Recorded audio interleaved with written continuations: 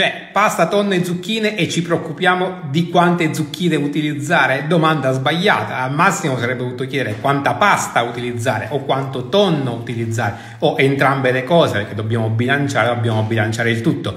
Quindi se va bilanciato vuol dire che dobbiamo tenere in considerazione tutto quanto, ma comunque bilanciare il singolo pasto non ha senso, va bilanciata l'alimentazione nel suo complesso, quindi messa così non vuol dire niente. Le zucchine sono zucchine, non fatevi pure questi problemi, mi raccomando.